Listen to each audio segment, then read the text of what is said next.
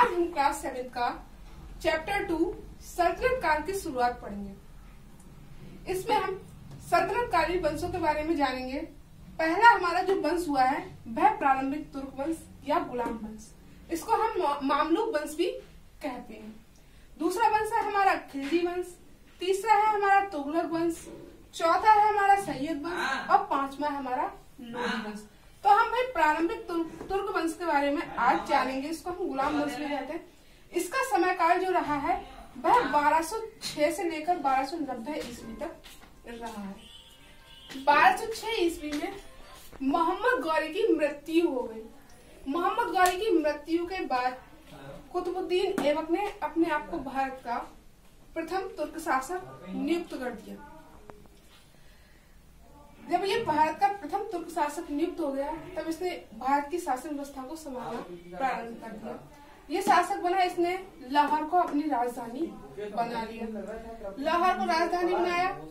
ये बहुत ही ज़्यादा दान प्रिय शासक था। ये बहुत ज़्यादा दान करता जिस कारण से इसको लाख बख्श की उपाधि दी गई। ये स्थापत्य कला प्रेमी भी था। इसके भवन निर्माण की और बहुत ज़्यादा रुचि थी। इसने भवन निर्माण में कई इमारतों का निर्माण कराया, जिसमें कुतुब मीनार, कुब्बत उल इस्लाम अलाउद्दीन का झोपड़ा प्रमुख है। जब कुतुब मीनार का निर्माण कराया था 1210 ईस्वी में इसी समय इसकी मृत्यु हो गई। मैं इसकी मृत्यु का कारण क्या रहा? चौगान खेलने का बहुत ही ज़्यादा इसको शौक था। चौगान खेलते समय ये घोड़े से गिर गए, जिस कारण से इसको गंभीर चोटें लगी और इसकी 1210 ईस्वी में मृत्यु हो गई। 1210 ईस्वी में इसकी मृत्यु हो गई। इसके बाद इन्दुतमिश बारह सौ दस ईस्वी में शासक बन गया।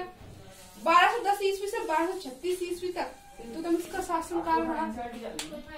अब इल्तुतमिश ने क्या क्या किया इल्तुतमिश को तुर्क वंश का वास्तविक संस्थापक माना था। पहला शासक कौन था? कुतुबुद्दीन ऐबक था। लेकिन वास्तविक संस्थापक किसे माना गया? इल्तुतमिश को क्योंकि भाई इसने इसके प्रशासनिक और राजनीतिक क्षेत्र में बहुत ज़्यादा कार्य की जिस कारण से उसको भारत का वास्तविक या तुर्क वंश का वास्तविक शासक माना गया।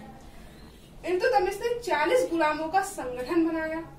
तुर्क एक चहलगानी जिसको कहा गया। इसकी शासन व्यवस्था बहुत ज़्यादा अच्छी थी। इसलिए दिल्ली में राजनीतिक प्रशासनिक व सांस्कृतिक केंद्र बनाया दिल्ली को, और बहुत सारे दिल्ली के लिए और भारत के लिए राजनीतिक क्षेत्र में कार्य किए। इसने सैनिक क्षेत्र में बहुत सारे कार्य किए। इसने अक्ता या इक्तादारी प्रथा की प्रचलन किया।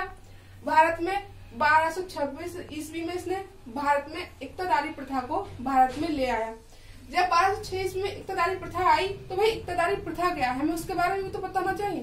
तो इक्तादारी प्रथा ये थी, जो शासक थे वेतन मिल सके। अगर वेतन नहीं हो तो उनके लिए जागीरों की व्यवस्था कर दी गई। जिससे कि जो शासक थे वे, जो मतलब उनके सैनिक थे वो शासक के मतलब प्रिय रहे और शासकों को वो अपनी नज़रों में मतलब उनका प्रमुख माने। और भाई इसने अपने समय काल में मुद्रा सुधार भी किया जिसमें चांदी का टंका और तांबे का जीतल प्रमुख रहा। इसने अपने जीवन काल में ही अपना उत्तराधिकारी नियुक्त कर दिया था। रजिया सुल्तान को, जो इसकी पुत्री थी 1236 ईस्वी में इल्तुतमिश की मृत्यु हो गई।